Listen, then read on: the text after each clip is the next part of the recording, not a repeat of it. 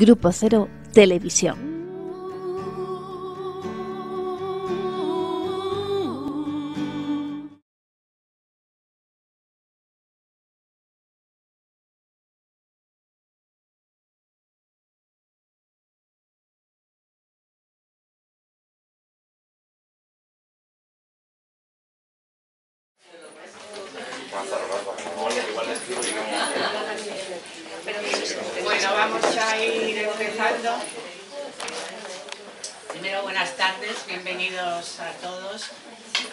De Psicoanálisis Grupo Cero, dirigida por el doctor Miguel Cárdenas.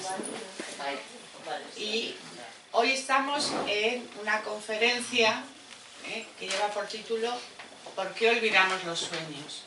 Y estas conferencias están enmarcadas en el seminario Sigmund Freud de los viernes, que es un seminario que lleva...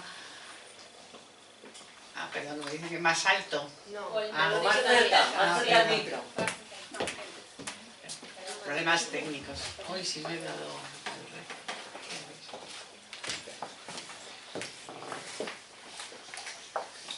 Bueno, pues como iba diciendo, el seminario lleva más de 20 años dictándose y es un seminario donde se estudia la obra de Freud.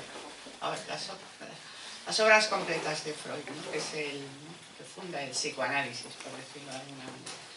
Y en estos, eh, una vez al mes, el seminario tiene lugar en este horario, los viernes a las 7, y una vez al mes, pues lo, abri- lo abrimos al público y trabajamos los temas del seminario. Y ahora estamos con la interpretación de los sueños. Y hoy vamos a hablar, decía, de por qué olvidamos los sueños. Es algo que a veces nos sorprende, porque claro, el grado de olvido de los sueños en muchas ocasiones es mucho mayor que cualquier otra cosa que nos sucede, ¿no? Y eso nos sorprende, ¿no? Hay veces que nos levantamos, nos despertamos, reco- recordamos perfectamente el sueño completo, miles de detalles y al cabo de- del tiempo, incluso eh, en minutos, lo hemos olvidado y somos incapaces de decir que hemos soñado. Otras veces nos acordamos de un pequeño fragmento o no nos acordamos de nada, o sea que es muy variable. Entonces, es sorprendente que nos olvidemos tan rápidamente y prácticamente siempre. Hombre, hay sueños que recordamos de manera permanente, pero eso es la excepción, por decirlo de alguna manera. Pero para saber o para poder acercarnos a por qué olvidamos los sueños, tendríamos que ver primero qué son los sueños, ¿no? O cómo se forman los sueños. Porque si no, tampoco eh, podríamos ir mucho más allá. Y eso es el, digamos que eh, lo que trabaja Freud en la interpretación de los sueños, que es el texto que funda la teoría psicoanalítica. ¿Qué quiero decir con esto? Que es el texto donde Freud va a plantear el concepto de inconsciente, que es, digamos, que el concepto central de toda la teoría psicoanalítica. Y él escribe la interpretación de los sueños porque, eh, no tanto porque le interesan los sueños, que pueden ser muy interesantes también, sino sobre todo porque le interesa, digamos que, el aparato donde se forman los sueños, la máquina de soñar, ¿no? Realmente. Y la máquina de soñar es nuestro psiquismo, ¿no? Porque él dice, él ya había investigado, ya había trabajado, incluso había publicado artículos sobre la histeria, la neurosis de angustia, y él ya ¿no? estaba trabajando toda esta cuestión de cuál es el funcionamiento de nuestro psiquismo. Pero dice, si escribo sobre los síntomas, sobre la enfermedad, me van a decir, sí, bueno, eso le pasa a los neuróticos, pero a mí no me pasa, ¿no? Entonces, toma algo que nos pasa a todos. Porque soñar, soñamos todos. Dice, bueno, pues vamos a trabajar cómo funciona eh, nuestro aparato psíquico, y cuando digo aparato psíquico no tenemos que pensar en ningún aparatito ni ninguna localización, es una manera de hablar para mostrar que hay en juego, podríamos decir una máquina, porque en realidad también hay en juego todo un trabajo de formación de cualquier cosa que pueda decir, no solamente de los sueños, ¿no? sino que en lo que uno habla, pues también está el trabajo del inconsciente. También es interesante. ¿no? Entonces, toma los sueños y empieza a trabajarlos. Entonces, ahí, ¿no? en todo, digamos que escribe la interpretación de los sueños, que tiene, digamos que, dos grandes mm, partes, podríamos señalar. Una primera parte en el que él trabaja toda la cuestión de la interpretación de los sueños y una segunda parte en la que trabaja dónde se forman los sueños, podríamos decir. Entonces, la primera parte, él comienza justamente con el tema de la interpretación de los el método de interpretación. Y lo que va a plantear ahí, con respecto a los sueños, es que los sueños son como, después de la interpretación, porque eso también es importante, se nos muestran como realizaciones de un deseo sexual infantil reprimido. Supongo que eso eh, lo habrán oído en muchas ocasiones, pero a lo mejor lo sorprende. ¿Y qué son los deseos sexuales? Pues los deseos sexuales son los que nos constituyen. ¿no? Digamos que cuando nacemos mm, somos poco humanos, somos más, somos más bien un animalito que no sabe ni no puede sobrevivir solo, ¿no? Y necesita de otro humano para sobrevivir, que le alimente, que le, que le cuide, que le meza, ¿eh? que le meza. Entonces, ¿no? con esas primeras personas con que el recién nacido establece una relación, pues esas son, es la mamá, o la figura, o la persona que se ocupa de, cuidarlo, más allá de...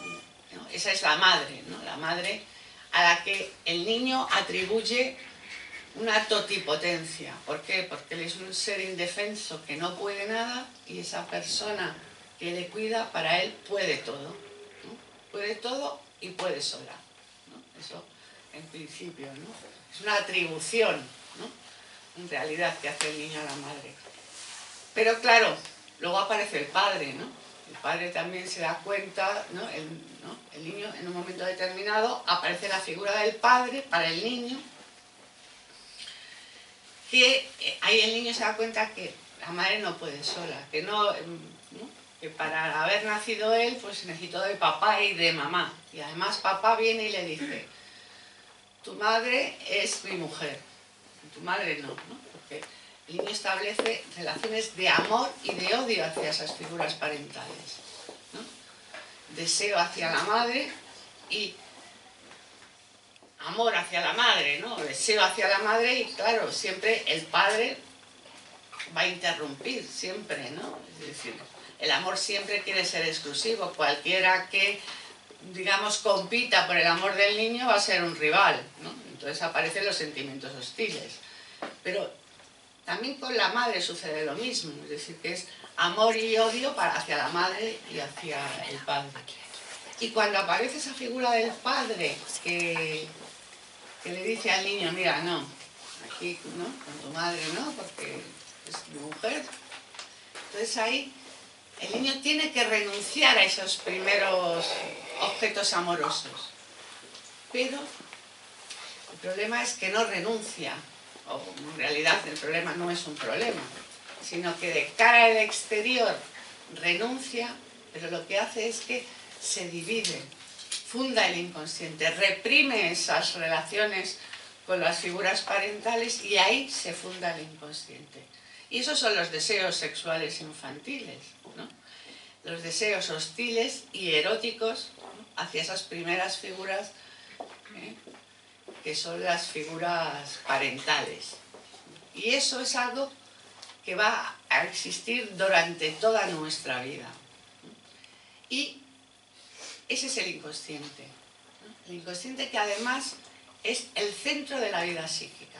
Porque hasta que Freud escribe la interpretación de los sueños, el centro de la vida psíquica es la conciencia. Pero Freud dice, no, La conciencia es un órgano de percepción. Igual que todo órgano de percepción se equivoca. Percibe el mundo exterior y el mundo interior, podríamos decir. ¿Por qué se equivoca? Porque yo miro al sol y si miro al sol, a lo largo de unas horas, veo que el sol se va moviendo, me está engañando, porque el sol no se mueve, ¿no? La que se mueve es la tierra, en ese sentido engañosa. Entonces, interpreta mal tanto lo exterior como lo interior. Entonces, con la, fundación o con la producción del concepto de inconsciente lo que hace es que desplaza, se desplaza el centro de la vida psíquica. Ya no es más la conciencia el centro de la vida psíquica, sino el inconsciente.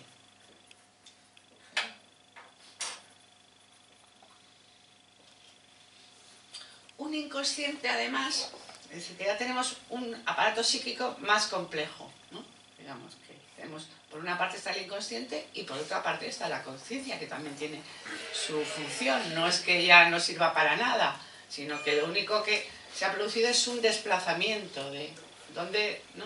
cuál es el motor de todo lo que le sucede al sujeto. Pues es el inconsciente, ya no es la inconsciente, la conciencia. Entonces tenemos inconsciente y conciencia. Y el inconsciente siempre va a tender a expresarse.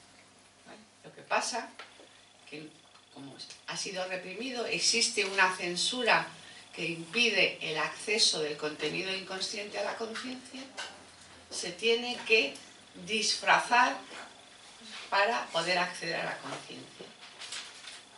Y todo ese disfraz es el trabajo del inconsciente, el trabajo del sueño. ¿Qué quiere decir esto? Habíamos dicho que el niño reprime, ¿no? ¿Y qué es la represión? En realidad la represión es yo voy a tener siempre un afecto ligado a una representación, a una palabra, a una figura, a, una, a alguien, una representación. Entonces, la represión consiste en separar justamente la representación del afecto. Eso es reprimir. La representación permanece inconsciente y el afecto se va a ir desplazando de representación en representación hasta llegar a una que pueda acceder a la conciencia. Entonces, accede a la conciencia, pero ves que ya, digamos que eh, nos está mintiendo. ¿Por qué? Porque el afecto y la representación no se corresponden. El afecto en realidad está en relación a una representación inconsciente. Eso sería uno de los mecanismos del trabajo, ¿no? Los, mecanismos fundamentales del trabajo inconsciente serían eh, el desplazamiento, que es esto que acabo de deciros, y la condensación.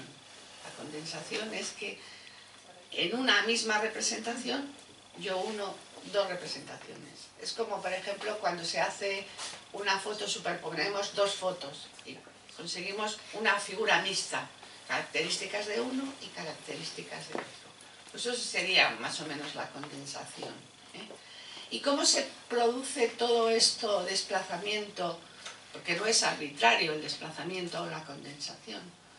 Se produce en realidad por, en relación a contigüidad, dos sucesos que, acontecen en el mismo tiempo, por semilcadencia, ¿ves? ya es una cuestión del, lenguaje, ¿no? ya es dos palabras que suenan igual o suenan parecido, yo las, las, asocio. Puedo desplazar desde, yo qué sé, desde una palabra a otra el afecto, desde casa a coso. Pues ya está, y me voy por ahí, ¿no? Esa sería, digamos, que la manera de acceder el inconsciente a la conciencia. Siempre va a estar deformado, siempre, porque existe una barra que impide el acceso de lo inconsciente Eso en primer lugar. Y otra cosa interesante que plantea el psicoanálisis es que los hechos, digamos que, por ejemplo, el sueño, no sabemos, si yo no cuento el sueño, nadie puede saber que he soñado. Entonces, si yo no digo lo que me pasa, nadie puede saber lo que me pasa.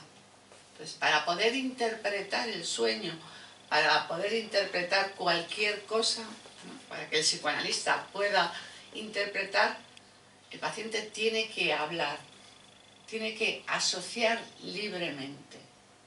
¿Qué es esto de asociar libremente? Decir lo que se le pase por la cabeza sin ningún tipo de crítica. Habitualmente uno selecciona, esto no es conveniente, esto no me parece bien, esto me produce un cierto malestar y no lo, no digo. No, pues se trata de eliminar esa censura consciente y decir lo que al sujeto se le ocurra en ese momento. Entonces, esas esa asociación va a permitir la interpretación.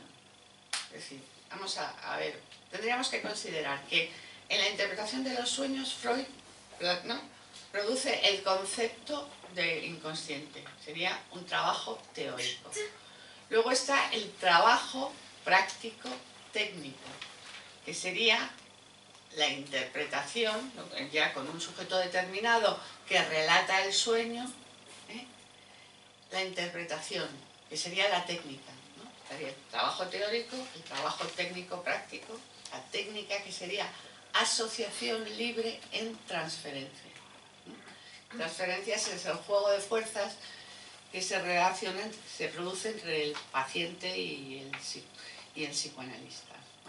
Interpretación, asociación. Y luego está está la interpretación. La interpretación es la que va a señalar el deseo que se realiza en este sueño, se produce. Porque si yo no sé hasta que no lo, no, lo produce el psicoanalista en realidad no existe. Existe el concepto teórico de inconsciente, pero para cada uno se tiene que producir. Porque si decimos, si yo padezco del inconsciente, ¿no? padezco los efectos del inconsciente, pero no sé de mi inconsciente, necesito del psicoanalista para poder saber del inconsciente. Y mm,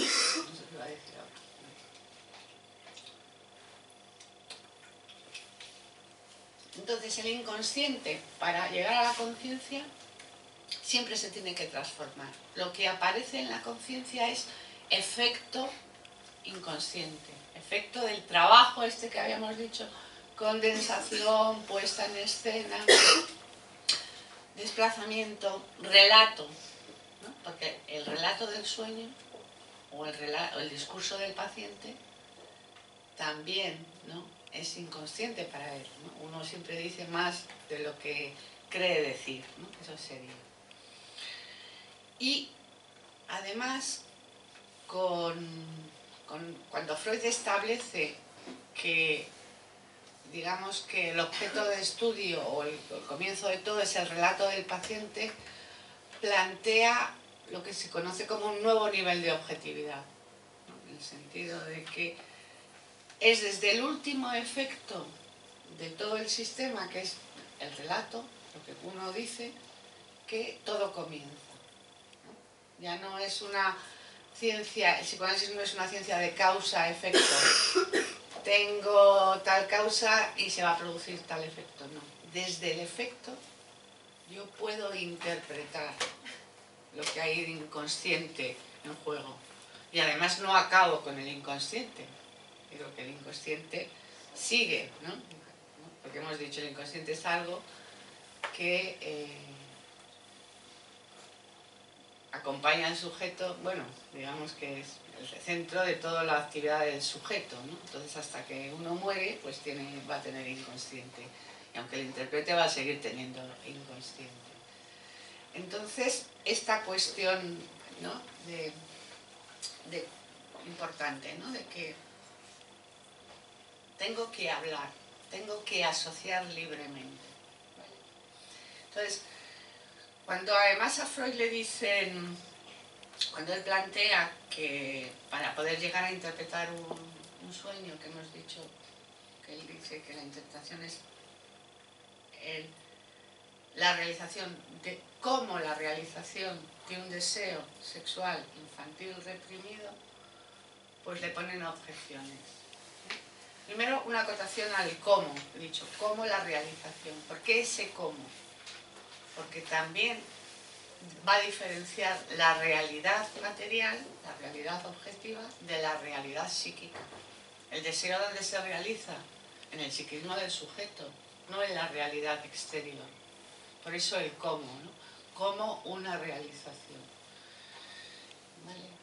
Entonces, los sueños, los síntomas, los lapsus, los chistes, todos son productos del inconsciente. Son todo formaciones del inconsciente que se forman de la misma manera. Y el relato del sujeto también se forma de la misma manera, con estos elementos que hemos esbozado. Pero claro, cuando dice, cuando Freud eh, escribe la interpretación de los sueños y señala que el paciente tiene que relatar el sueño y asociar sobre él, pues lo primero que le objetan es cómo vamos a tomar un material como materia prima de todo el trabajo que es, bueno, pues tan confuso. A veces no sabemos si lo que hemos soñado lo hemos soñado, si era exactamente así, que tiene muchas lagunas. Entonces dice, lo que él viene a plantear es que precisamente que tenga esas características nos habla de lo inconsciente. ¿Por qué? Porque dice, ¿no? Por ejemplo, eh, a veces un paciente me relata un sueño y hay una parte que no está un poco confusa, ha utilizado un término que no queda muy claro y le pido que me vuelva a relatar el sueño. Dice, lo que sucede es que justamente cuando vuelve a relatar el sueño va a cambiar determinados términos. ¿Y cuáles son los términos que cambian? Pues los términos, digamos que pueden dar pistas, por decirlo de alguna manera, que indican más certeramente cuál es el camino del inconsciente. ¿Por qué? Porque hemos dicho, existe siempre una censura. Una censura vigilante que no deja, ¿no? impide el acceso de lo inconsciente a la conciencia y va a estar siempre ahí vigilando. Entonces, pero, entonces, ¿cómo soñamos? Bueno, muy fácil, porque cuando dormimos, con el reposo, disminuye el nivel de, censura. Y eso permite que soñemos. Claro, luego me despierto y se vuelve a aumentar el nivel de censura al nivel de que cada uno tiene. Y entonces ahí nuevamente, y ahí se produce el olvido. El olvido siempre va a tener que ver con lo reprimido. Porque yo no quiero saber nada de lo que de lo reprimido, de lo inconsciente. El sujeto no quiere saber nada de lo inconsciente. Entonces, siempre que hay un olvido, va a haber en juego una represión. Siempre. Tanto del olvido del sueño como del olvido de cualquier otro tema. Pero como estamos hablando del olvido de los sueños, el olvido siempre tiene que ver con la represión. Porque está reprimido no puede acceder a la conciencia. Entonces censuro. Y no, no me acuerdo. Me acuerdo cuando me despierto y a los cinco minutos, pues no sé, no podría decir nada de lo que he soñado. ¿eh? O sí. Digo que eso también depende del nivel de, censura para cada sujeto. ¿eh? Pues importante. Y lo importante además, para poder cualquier interpretación es asociar libremente. Lo que pasa que es una paradoja. ¿Por qué? Asocia libremente que no va a poder, ¿no? Podríamos decir. ¿Por qué? Porque todo lo que diga, todo lo que diga está determinado por lo inconsciente, en ese sentido.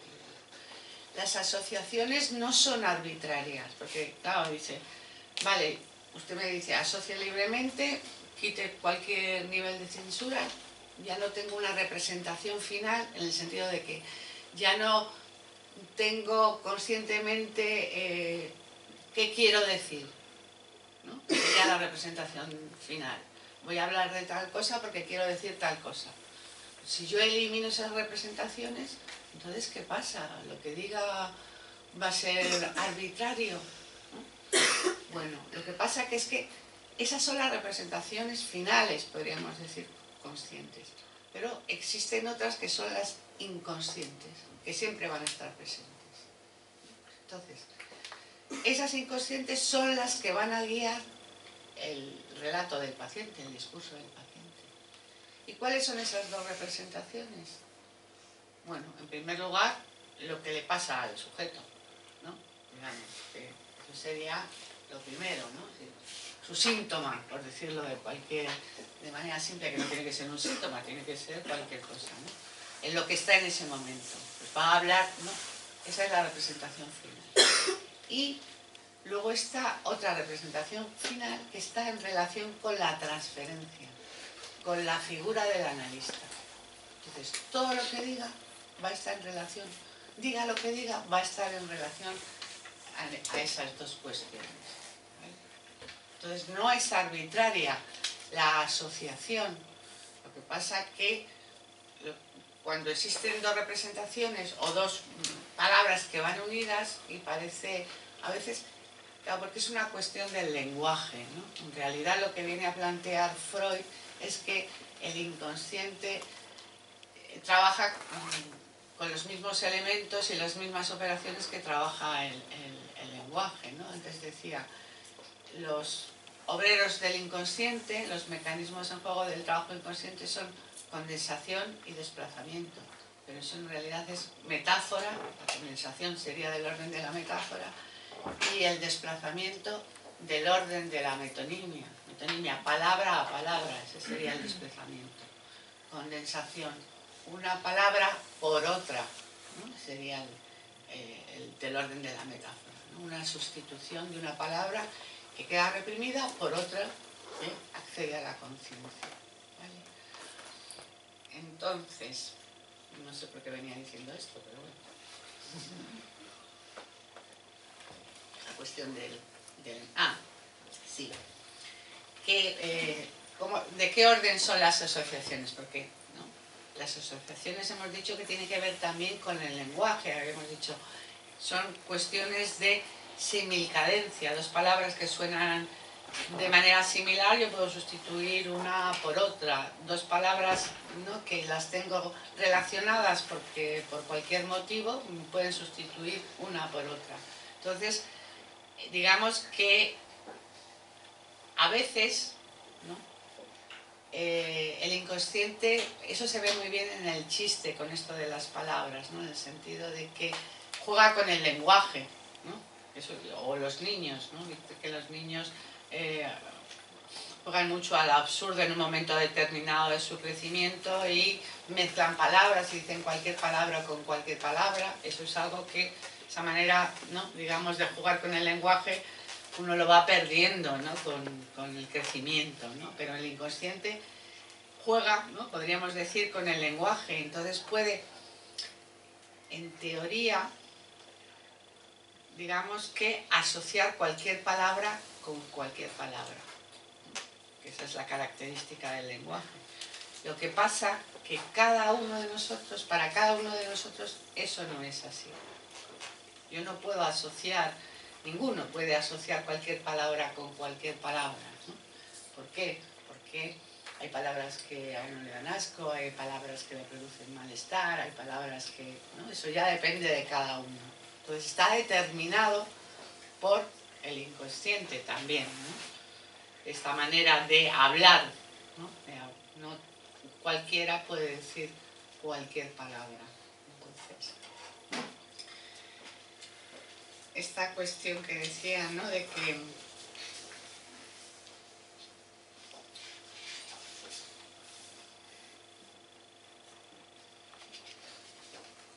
Claro, porque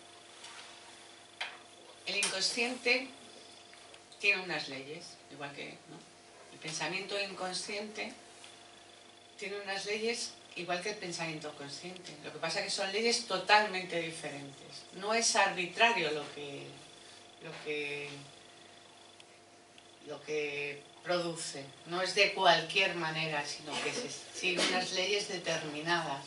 Lo que pasa es que son muy distintas a la de la conciencia.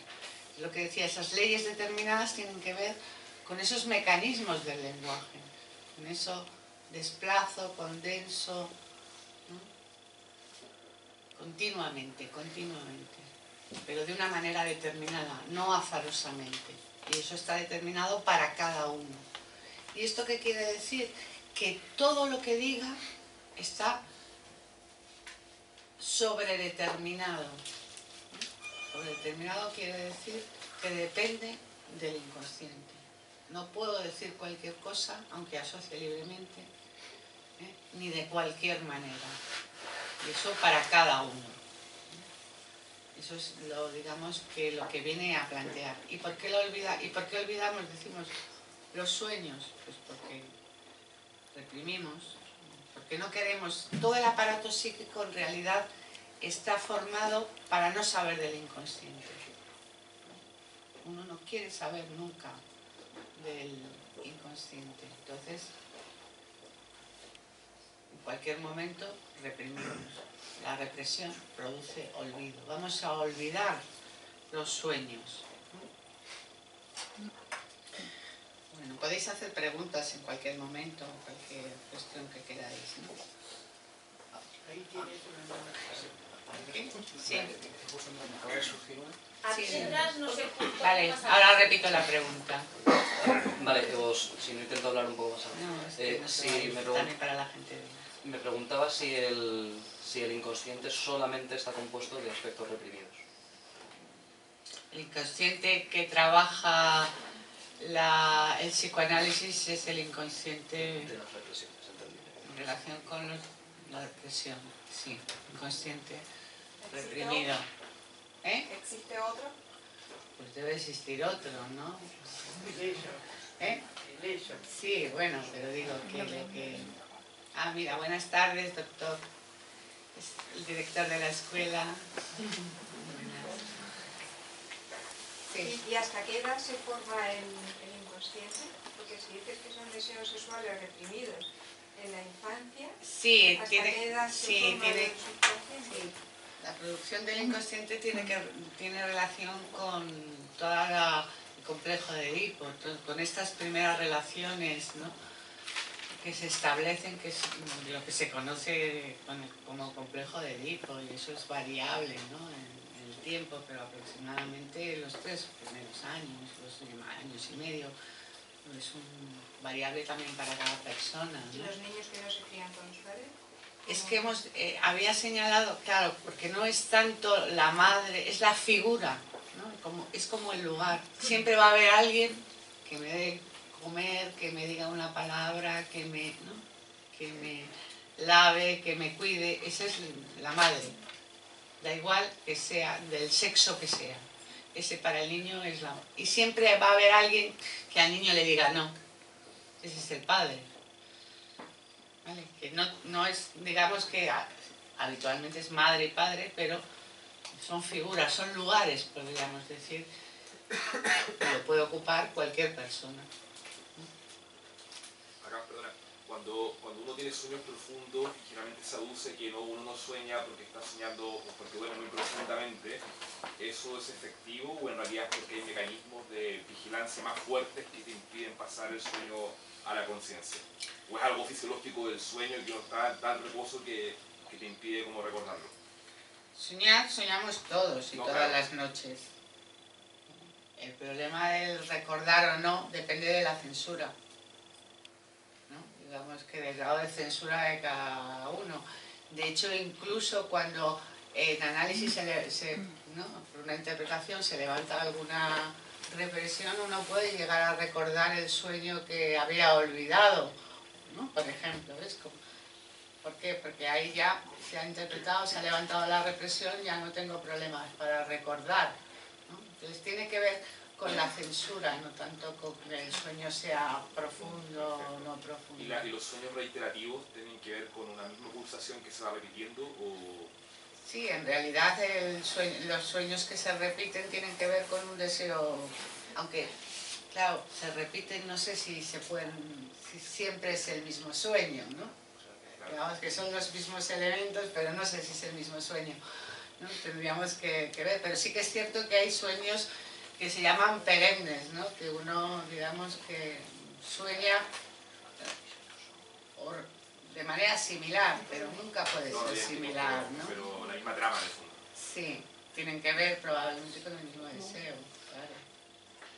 ¿Y qué pasa en esos casos en el que dentro del sueño te das cuenta que estás soñando? Claro, muy interesante porque eso es, eh, digamos que, una argucia de la censura, ¿no? para burlar la censura. Porque claro, el inconsciente se deforma para burlar la censura. Y, y eso es para burlar también la censura. Es como si le dijera al sujeto, tranquilo, puedes seguir, si total es un sueño. Es una manera de... Y lo vives consciente a pesar de que luego cuando despiertas se, se vaya la Ah, lo vives, ¿cómo que lo vives O sea que dentro del sueño, dentro del sueño hay un momento que te das cuenta que estás soñando, Sí. te relajas y, lo, y vives el sueño conscientemente. Pero luego cuando despiertas, Claro. estás en contacto con que Claro. eso pasa así, pero igual vas perdiendo detalles Sí, claro. es, yo- digamos que la manera de burlar la censura durante el sueño. Digo, porque cuando, si no logro burlar la censura, si, ¿no? si la deformación no es lo suficientemente buena, lo que produce al sujeto es que se despierta. Se despierta, ¿no? las pesadillas. Todo sueño que interrumpe es sueño de angustia, despierta al sujeto. Pero eso que tú dices, que sí que es cierto que en el sueño uno dice, ah, bueno, no pasa nada, si esto solo es un sueño. Para seguir soñando, podríamos decir, ¿no? Es una manera de burlar la censura. Censura siempre va a estar presente en la represión. ¿Y por Siempre. qué? ¿Por qué, por qué esa represión? ¿Por qué esa represión? Sí, ¿De qué? no queremos saber. O sea, ¿por qué esa censura? ¿Y qué- co- ¿Quién establece o cómo se establece esa censura? La censura tiene que ver con la represión, porque yo he renunciado y no quiero saber nada de eso, ¿no? Que está prohibido, ¿no? En realidad, ¿no? Son deseos incestuosos de las figuras parentales, ¿no? Es algo prohibido para el sujeto, no quiere saber nada de eso. Entonces, esa es la represión primaria y luego todo lo que, digamos, de alguna manera roza eso, pues también lo voy a reprimir. No reprimo de cualquier manera y cualquier cosa, sino para cada sujeto aquello que de alguna manera establece relación con lo reprimido, inconsciente. Y eso siempre va a estar. Pero personajes que no tengan esos sentimientos de represión ni tengan pudor con nada. A ver, una- la represión es un mecanismo. Es el mecanismo que funda el aparato, sin más. Es un mecanismo que hace, que separa la representación del afecto. El pudor ya es otra cuestión diferente. Sí, pero hay personas que no tienen, digamos, por motivos mentales, que no tienen afectos, que no tienen sentimientos y que no tienen ningún tipo de represión. Para ellos no significa nada un acto que sea de cualquier ideología, pues lo pueden realizar y no tienen, digamos, ningún...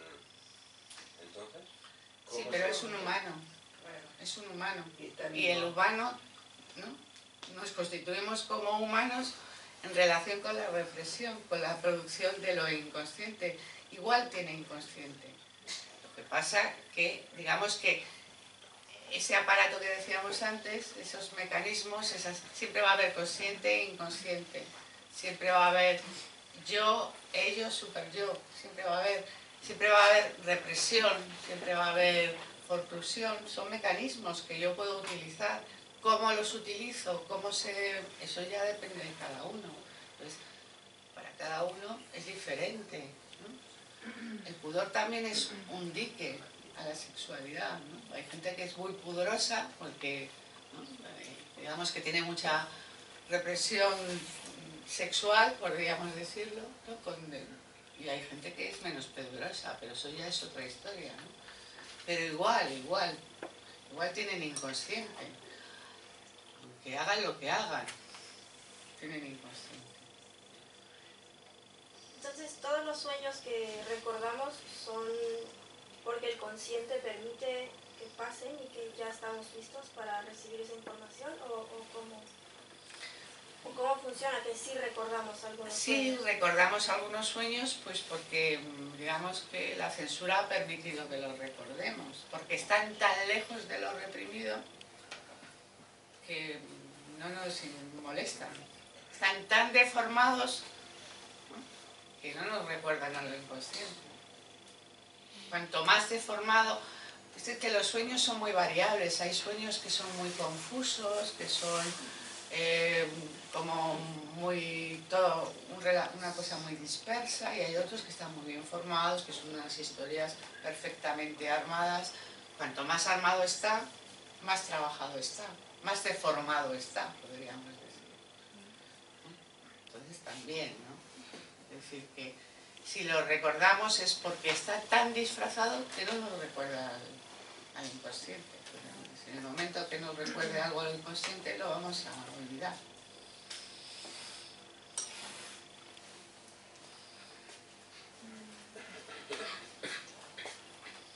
Sí, Sí, ah, sí, sí. Eh, ah, es que mm, no sé si me he perdido un poco. Si censuramos eh, aquellas represiones, ¿cómo sabemos que tenemos esas represiones? ¿Cómo se, si se manifiestan de otra forma?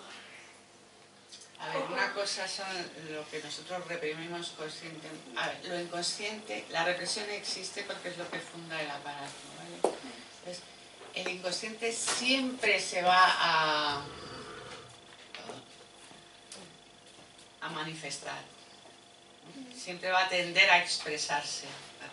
Entonces, puedo hacerlo durante, mediante un sueño, mediante un lapsus, una equivocación, un olvido, un síntoma, ahí, ¿no?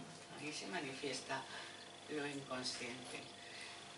Digo que si cometo un lapsus, si me equivoco, tendría que pensar, ah, mira, esto tendrá que ver con algo inconsciente. Tampoco hay que ir más allá, a lo mejor, o sí, si no quiere, pues ya se tiene que psicoanalizar, ¿no? Pero saber que, sin, el, el olvido no es porque estoy cansado o me equivoco, no porque es que estoy muy agotada, he dormido poco y tengo sueño y entonces pues voy y cometo un lapsus. No, tiene que ver con una cuestión inconsciente. Sería... Así. Claro. Son por efecto, siempre es por efecto. Es desde el efecto que yo sé. Que, comienza todo. Desde lo último, digamos, la último producto del sistema, ahí comienza todo. Si no cometo un lapsus no puedo hablar de nada. ¿no? Hay una pregunta que dice, entonces lo que se acuerdan de los sueños están menos reprimidos o censurados que los que no nos acordamos de ellos. Que no es una cosa de, es una cosa de funcionamiento del psiquismo, no tanto de los sujetos si están censurados o reprimidos, ¿no? sino que ¿no? la represión existe como mecanismo. Y sí, bueno, pues me olvido pues porque no quiero saber nada del inconsciente. Hay personas que niegan ¿no? de cualquier manera cualquier co- cosa que o pensar, ¿no? Que tiene inconsciente. No, no, yo sé muy bien por qué me pasan las cosas. No me vengas a mí a decir. ¿Alguna cuestión? Yo, yo sé muy bien por qué me pasa. No, eh, eh, olvido los sueños están dando, Sí, ¿no? Capítulo fundamental Sí. Porque pone límite teórico a la interpretación, ¿no? El ombligo del sueño. Claro. Es decir, se puede interpretar, interpretar, interpretar, hasta que se llega a una interpretación que está avalada por alguno de los conceptos teóricos. Y ese es el ombligo del sueño. Ahí hay que dejar de interpretar. Es decir, cuando llego a la castración, a la envidia del pene, a la envidia, a los celos, ¿eh? que me quiero casar con mi mamá, que me quiero casar... No, ahí hay que interrumpir la... Ahí, hasta ahí llega la interpretación. Después dice, las asociaciones fue y se pierden en el tejido, ¿no? Pone un límite preciso. El ombligo del sueño se llama. Es un lindo capítulo eso. Sí. Además, eh, en el ombligo del sueño él plantea lo que va a desarrollar en, en todo, ¿no? Porque hasta ahí los sueños tenían interpretación. Toda la primera parte es demostrar que los sueños son interpretables. Pero claro, pero faltaba todo, faltaba cómo se movían las fuerzas, cómo estaba construido el aparato psíquico, ¿no? Cómo funcionaba el consciente, el inconsciente, qué relación tenían. Entonces él ahí plantea las tesis de todo el desarrollo posterior. Un gran capítulo. Si lo leen bien, ya saben algo de psicoanálisis. Porque es un gran capítulo, es un gran capítulo. Pero Sí. yo lo leí bien, ¿no? Era el único capítulo que leí. Claro, porque además él ¿no? también señala una, una cuestión muy interesante gracias, gracias, eh, con respecto a esta cuestión de cualquier interrupción tiene que ver ¿no? con, con una... ¿no?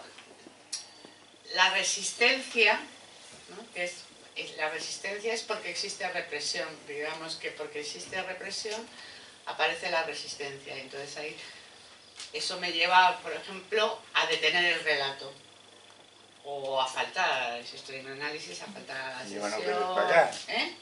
O a no querer pagar. por ejemplo. ¿no? Pues todo eso, ¿no? la resistencia, cualquier resistencia siempre tiene que ver ¿eh?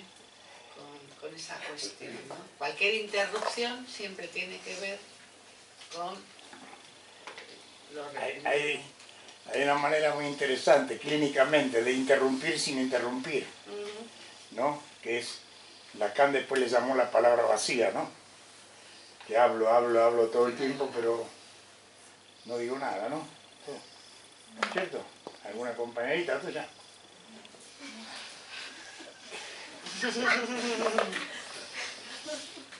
Que es la palabra vacía, que es una manera de interrumpir, ¿no?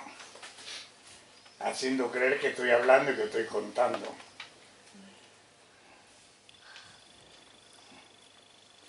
No, el psicoanálisis se rechaza en principio porque me pone en cuestión, ¿no?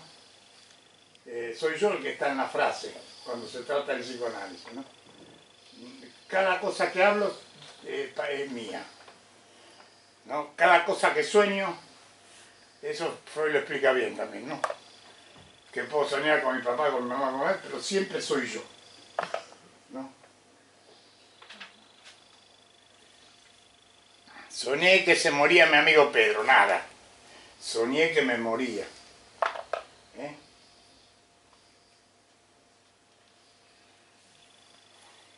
Menos mal que se puede soñar, no hay que hacerlo. ¿no? No, es, es interesante en el sentido, es muy, pone en cuestión la vida del sujeto en el sentido de que eh, el sujeto se maneja generalmente con racionalizaciones y negaciones. Yo, como sujeto, me manejo con negaciones y racionalizaciones, que es lo que nos sirve para psicoanalizarse, mejor dicho, es lo que el psicoanalista interpreta para que aparezca algo de verdad del sujeto. ¿no? ¿El psicoanálisis cura? ¿Cómo dice? ¿El psicoanálisis cura a una persona, a una depresión? Cura. Sí, bueno, es lo único que hace. Que el psicoanálisis para lo único que sirve es para curar, no sirve para otra cosa. Es totalmente inútil, sirve para curarme. Después no lo puedo utilizar. ¿No? Veo como cuando te medican en el hospital que después le das la medicación a toda la familia, a los amigos, que. Bueno, con el psicoanálisis no se hacer eso. Sí, claro que cura. Un alto porcentaje de las enfermedades llamadas biológicas tienen que ser tratadas con psicoanálisis. Si no, no se curan.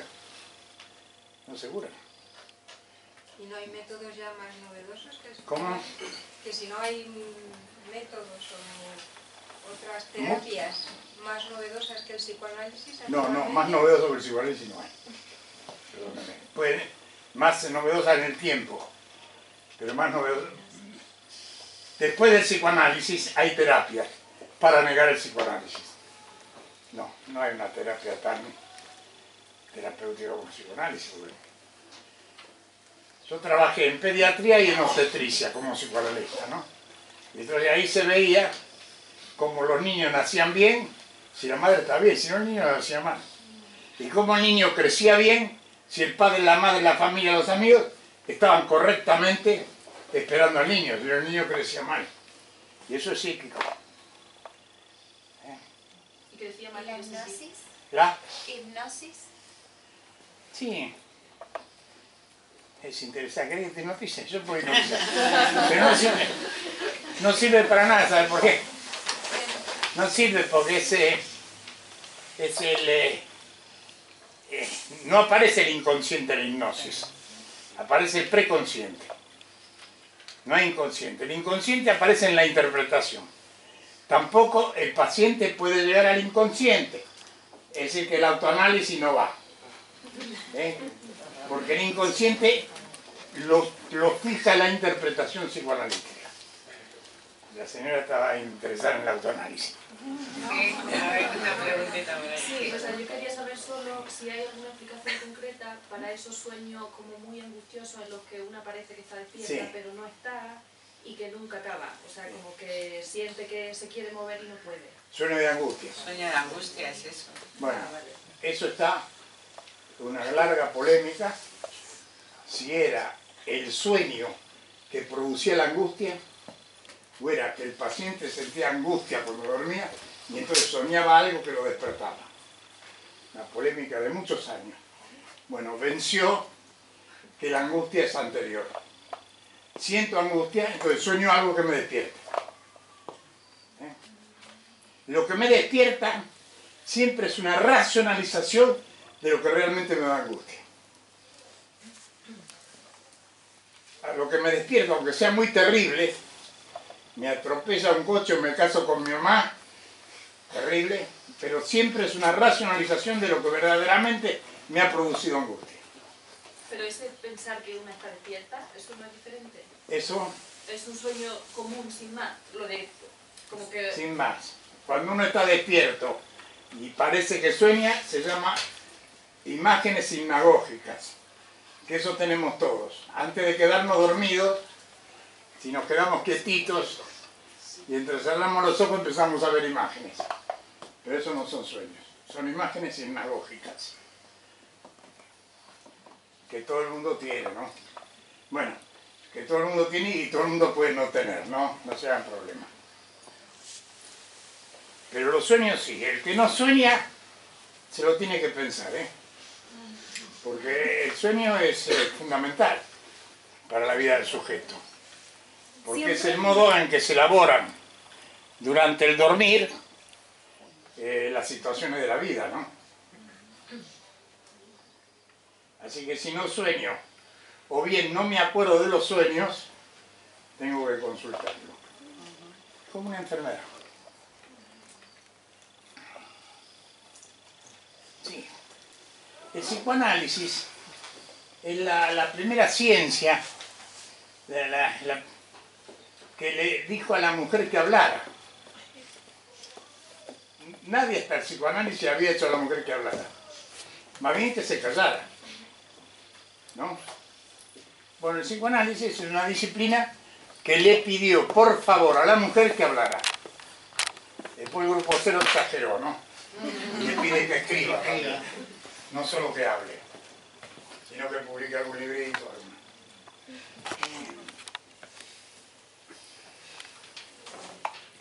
¿Viste? Es lindo psicoanalizarse, es bárbaro, no me acuerdo de eso. Una maravilla, es una maravilla. Yo después de 30 años de análisis ahora me psicoanalizo por escrito, ¿no? Compra algún libro mío y se va a dar cuenta. Pero primero me psicoanalicé 30 años. Pero porque entendí que te podías psicoanalizar sin estar enfermo. Que el psicoanálisis sirve para los sanos, ¿no? Abre puertas. ¿eh? Después, claro, yo era un, chico díscolo y entonces por todas las puertas me abría el psicoanálisis y entraba, ¿no? Me abrió la pintura, entré por la pintura, la poesía, la poesía, la medicina, la medicina, ¿no? Todas las puertas que el psicoanálisis me abría, cosa que yo no aconsejo porque da mucho trabajo, ¿no? Pero el psicoanálisis abre puertas, ¿no? Me muestra la capacidad que, no que desconozco en mí. Me muestra una capacidad que yo desconozco. Todos somos muy capaces. Todos somos seres humanos. Todos tenemos materia gris. Todos tenemos corazón, ¿no? Así que si, si nos falla el corazón o nos falla la materia gris, es neurosis. Porque no tiene por qué fallar. Perdón, doctora. Me excedí un poco, ¿no? No, no, para nada. Para nada. No, el Psicoanálisis es una maravilla. No, y después, como preguntaba señora, las técnicas modernas, ¿no? Estropean. Casualmente me acaba de llamar un señor grande que me dice, mire, me estoy psicoanalizando y me han hecho enojar con todas las mujeres. Entonces yo le dije, ¿quién los psicoanaliza? Digo, los psicoanalizan lacaniano. Me dijo, sí señor. Bueno, porque se meten con la vida del paciente. El psicoanálisis consiste en que no te tenés que meter con la vida del paciente. Tú tienes que interpretar y el paciente que haga lo que quiera.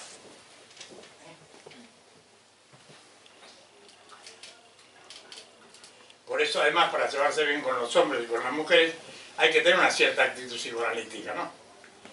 En chiquitito, en pequeño, ¿no? No tengo que preguntar dónde fuiste, no tengo que preguntar de dónde vienes, y, todo, la pareja funciona bien.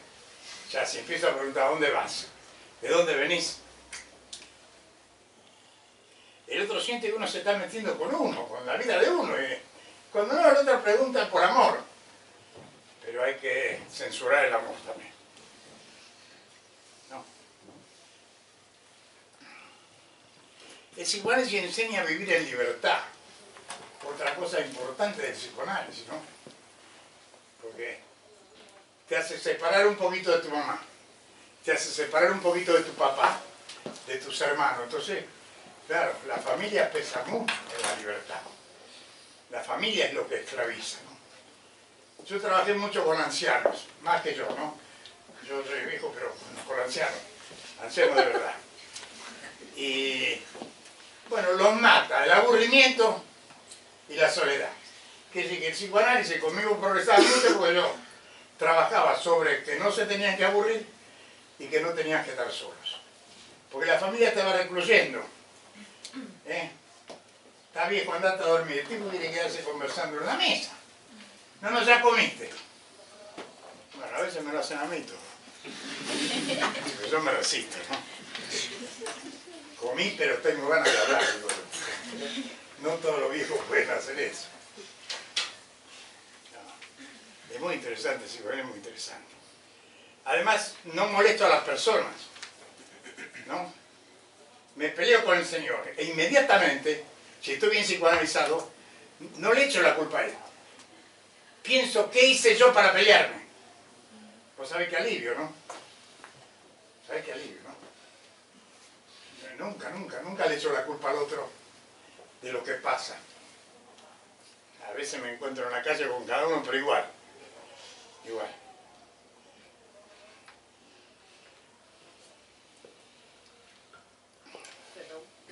¿Qué alivio para quién? Porque para uno mismo ¿Cómo? ¿Qué alivio para quién? Porque para uno mismo también es una tortura culpabilizarse de, todo, ¿no? O sea, estar revisando todo el rato. No, es que no tenés que estar revisando todo el rato. Tenés que psicoanalizarte. Es- claro, son dos o tres veces por semana, a lo sumo cuatro, una vez por semana, dos veces por mes. Y nada más, no tenés, porque si estás todo el día, traca, traca, traca, sos neurótica obsesiva. Te tenés que psicoanalizar para dejar la obsesiva. Y claro, que. Además, te quiero pero no te quiero, te quiero pero no te quiero, histérica. Y lo hace un hombre histérico. ¿No? Te quiero, te quiero. Si te quiero, no te quiero, te quiero, no te quiero, histérico. Es muy sencillo. Psicoanálisis es muy sencillo. Además es especialista en ese tipo de enfermedad. La histeria, la neurosis obsesiva, la paranoia, las fobias, el miedo. No, nadie tiene miedo a nada. Sí, todos tenemos miedo a algo bueno. Pero no hay por qué temer. No hay por qué temer. Nunca el monstruo es tan grande ni tan feroz. Nunca. Pero claro, la fantasía agranda a los monstruos, la fantasía agranda a los enemigos, le atribuye a la amada un poder excepcional de infidelidad, ¿no? Le atribuye al amado un, un poder. Pero si está todo el día al suyo, no, pero él es muy, muy, muy despierto. Me engaña, yo estoy segura que me engaño, pero si está todo el día con él. Es que le atribuyo poderes mágicos al amante o al amante para sentir celos. Es difícil vivir sin celos. Se lo digo yo, ¿eh? Muy difícil. Porque claro, porque los celos, los celos. Usted cela de la señorita, ¿no? Por ejemplo. Pero ¿sabe por qué cela? Porque le gusta. Si no, no se la haría. Yo celo del Señor, porque me lo quiero llevar para mí. ¿Eh? Que los celos son deseos. Así que vayan cuestionándose los celos, ¿no? Claro. Los celos son deseos. A nadie se le ocurre hacer celos de un tonto. ¿no? Yo siempre hago celos de un tipo bien parecido, mejor parecido que yo, un poco más alto, un poco mejor vestido. Y ahí aparecen los celos.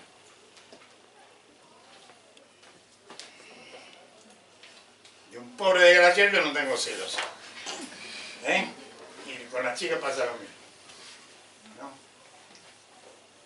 Y cuando tengo celos de una mujer más fea que yo, que camina peor que yo, y bueno, entonces tengo que revisarlo de verdad.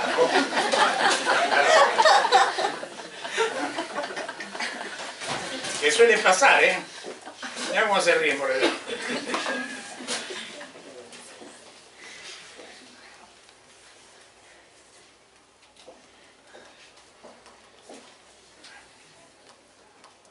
Después, por ejemplo, se desarrollan actividades impresionantes. Yo, por ejemplo, se puede decir ahora que soy pintor, ¿no? pero yo no era pintor. Yo me hice pintor después de 15 años de psicoanálisis. Yo era poeta, siempre fui poeta desde pequeño. Pero pintor me hice, bueno, cantor, yo cantaba tan mal que mi hermana que está por ahí siempre me decía que yo tenía un hombre sentado en una roca fumando un cigarrillo dentro de la oreja, en el sentido de que, sin embargo, ahora soy un cantor. No, no voy a hacer ninguna demostración. No se asuste. Le digo que ese es el psicoanálisis que va viendo. Va mostrando como todo es posible para todos. No, nadie, nadie es un tarado, nadie tiene taras. Todos tenemos el mismo sistema nervioso, las mismas células nerviosas. Todos tenemos medio cerebro que no funciona, pero que puede funcionar. Porque, por ejemplo, si ahora golpeo acá y me hago una parálisis del, cerebro que tengo, no tengo perdido todos los movimientos. Si me hacen trabajar y me hacen reeducar, la otra parte del cerebro que no funciona, empieza a funcionar. Lo que pasa es que el psicoanálisis permite que funcione la otra parte del cerebro sin necesidad de que te troles, sin necesidad de que tengas una parálisis. No. Medio cerebro no funciona, para nada. Está ahí de, como de repuesto. ¿no?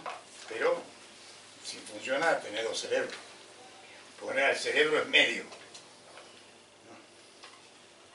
¿no? Esto lo dice el psicoanálisis. ¿eh? El psicoanálisis aprovecha esta situación. Muy interesante, muy interesante. Una pregunta, este, mal no recuerdo, una de las mayores críticas que le hacen al psicoanálisis, ¿verdad? Es que ¿Cómo? que una de las mayores críticas que le hacen al psicoanálisis es que necesita una terapia pues, bastante repetitiva y extensa. Bastante. Como repetitiva, o sea, tienes que estar yendo varias veces a ver al doctor o a la doctora. No, si es repetitivo el psicoanalista no sirve. Se lo digo, aunque sea yo psicoanalista. No sirve. Nada, to- todo es novedades. El psicoanálisis es todo novedad. Porque, por ejemplo, perdónenme, la- le hago una interpretación. Entonces, a la vez siguiente la tengo que esperar con la interpretación puesta. Usted no es la misma paciente. Usted dice hasta qué punto no es repetitivo el psicoanálisis. Cada vez que interpreto, tengo que esperarlo al día siguiente al paciente a otro paciente, no al mismo paciente. No, para nada. O sea, me refería más bien que tenías que visitar al psicoanalista o a la psicoanalista varias veces. La duración. La duración, exacto. No, mira, conmigo te alcanza una vez por mes. ¿eh? No creo que te anime. Que no, que no. Eso depende del paciente. El paciente que necesita para destapar la olla dos o tres sesiones. Hay pacientes que necesitan una sesión y hay pacientes, por ejemplo, la gente grande, ¿no? los ancianos, no quieren venir más de una vez por semana. Y a veces una cada 15 días. Yo los, los tomo igual. Porque... No, no voy a atender. ¿Quiere atender usted?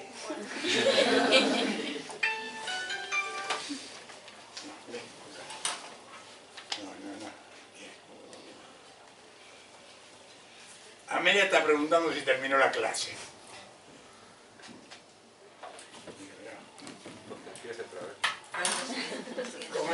Eh, vamos terminando. ¿La siguiente cuál era? Eh, sí, la próxima es el 26 de noviembre.